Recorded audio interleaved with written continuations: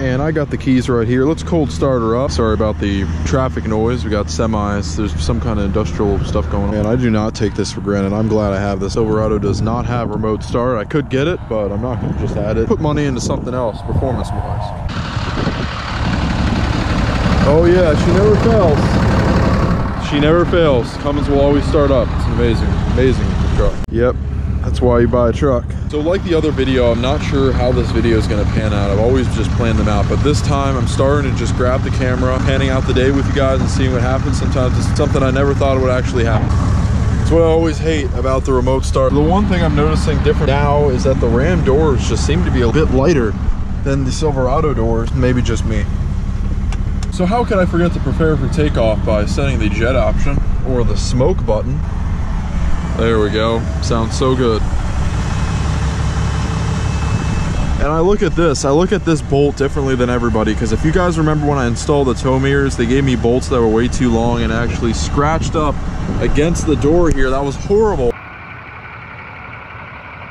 The first mod to the Cummins tow mirrors. You'd hear it just scratch and grind. Sold the old ones and got good feedback for them. So, so it always used to bother me to be able to vlog in front of other people because there's there's a lot of other people around here and whenever people see me or look at me whenever I'm doing this, I'd always just shove the camera in my pocket and be like, oh, this is too sketchy. I don't want to embarrass myself or anything. But now, it doesn't bother me at all. Really doesn't bother me. Sometimes you can't tell if it's a Cummins or not. Then you look at that big ass exhaust tip and then you know exactly what it is. Bob non.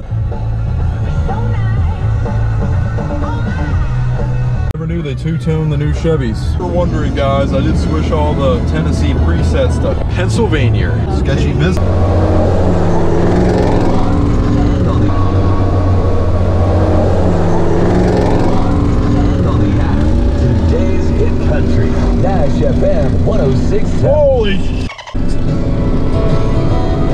52.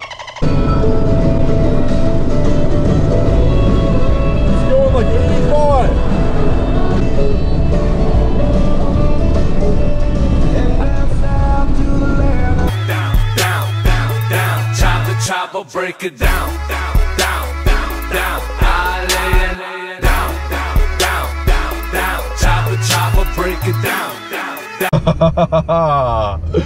oh my gosh that truck was awesome. I'm pretty sure I know who that is. Those are definitely some big tires to be running. I guess if you gear it right, you'll be good. So just got the Gorbs once again. We're about to roll. What are your thoughts about that truck?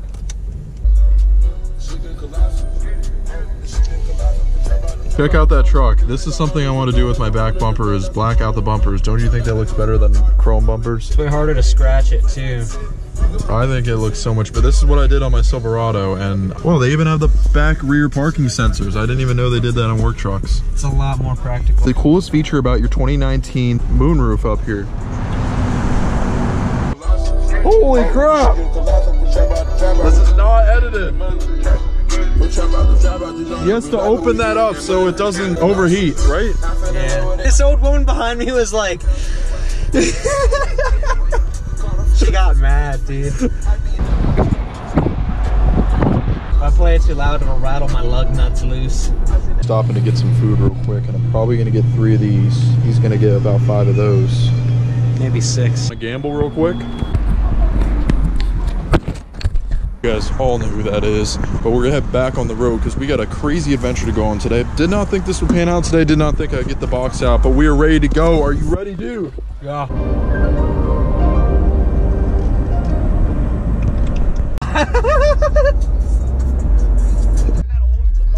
oh, look at that. It's an old Maybach. Would you buy it? Yeah. Holy For sale, cow, for, it's for sale. Oh, dude, buy it, dude, buy it, dude.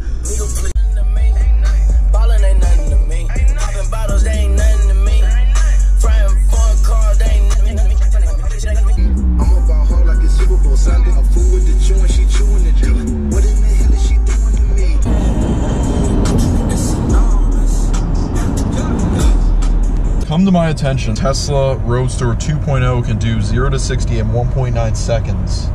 It doesn't have a transmission, so it has all its power right at the beginning. And even the semi truck haul a lot faster and more efficient than the semi trucks, the diesel semi trucks that they have now. And my opinion here is is that I know that this is the future, electric cars are the future, and they're taking over petroleum and diesel, and it's all going to go away. There's just something about diesel and a screaming V8 engine that I love so much. That See, screaming